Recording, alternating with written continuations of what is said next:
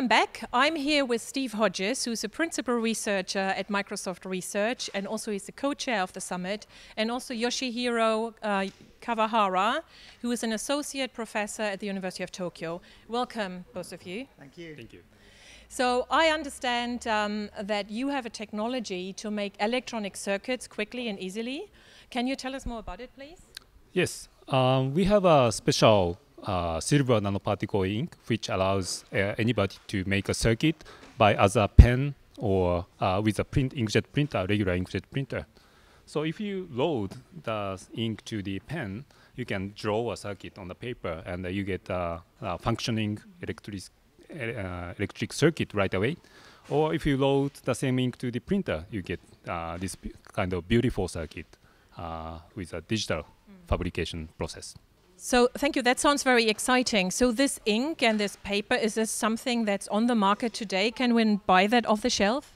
Yes, uh, this pen and uh, special inkjet cartridges for regular inkjet printers are available at uh, agic.cc uh, and amazon.com as well.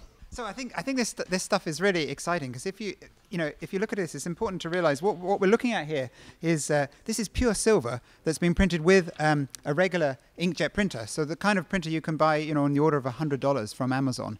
Uh, so this really means that this technology of printed circuits is much more available to uh, makers and hobbyists as well as professionals who want to prototype circuits much more quickly than was possible previously.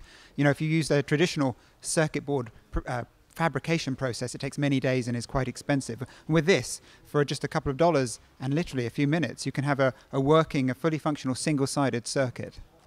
Well, it sounds there are really some, some benefits to this technology. Can you elaborate a little bit more on some key scenarios where this is a benefit?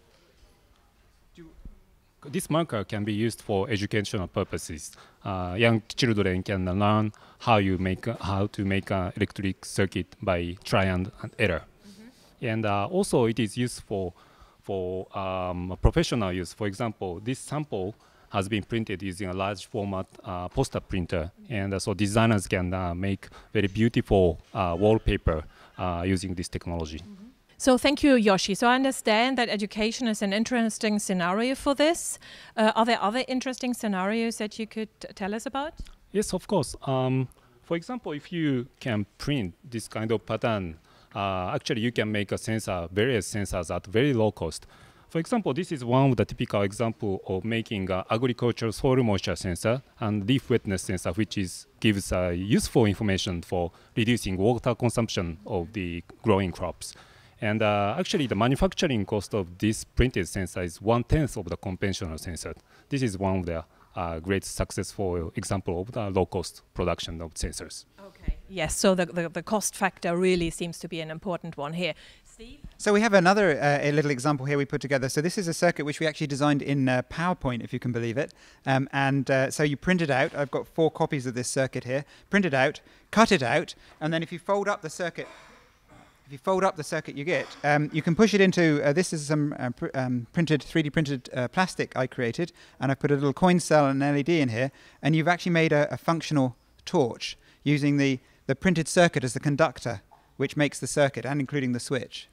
So, so this is kind of quite cute, but it's still quite limited in its functionality. We've made an electric circuit, but not an electronic circuit. Uh, it's just an on-off switch, really. Uh, so, so we got to thinking about how do we make more sophisticated electronics? How do we combine traditional electronics with this kind of very accessible printing technology?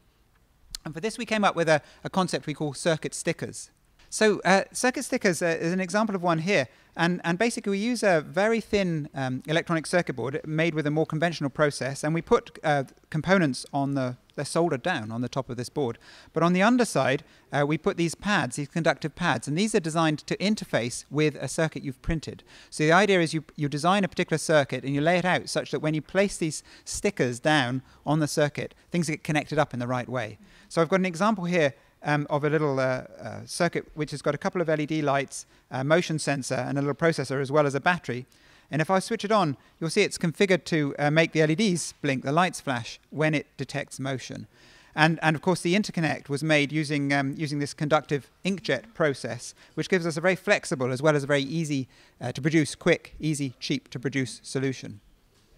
So, and how do you have these circuit stickers? Do they stick to the to the material themselves?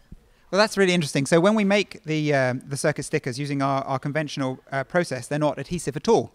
Uh, but it turns out there's um, that 3M uh, make a particular type of double-sided tape, which is very magical.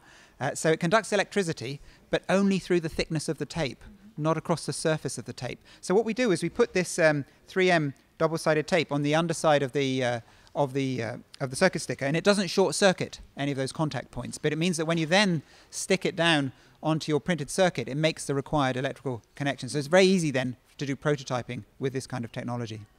Well, it sounds like even a, a, kid could do it potentially. But what about the software that are using to design the circuit and to design your electronic device? Is that easy to use, or is it as straightforward as the, the hardware?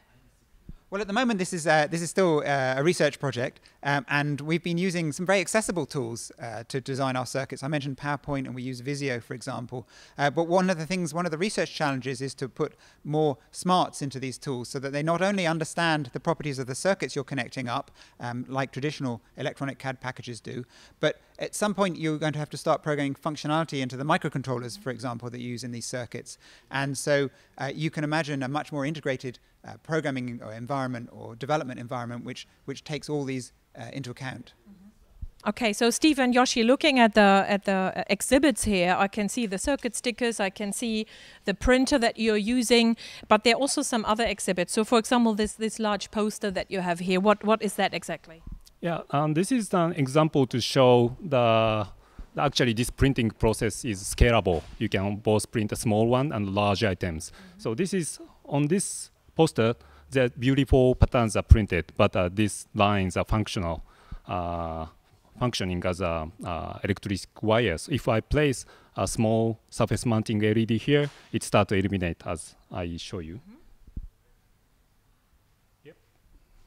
Okay. That, that's, that looks great fun. Thank you very much, Yoshi. So thank you very much, Steve and Yoshi, for this exciting demonstration. We will now take a break from the demo floor and uh, show you a video clip on how we envision to use eye gaze technology to enable mobility and communication for people living with disabilities.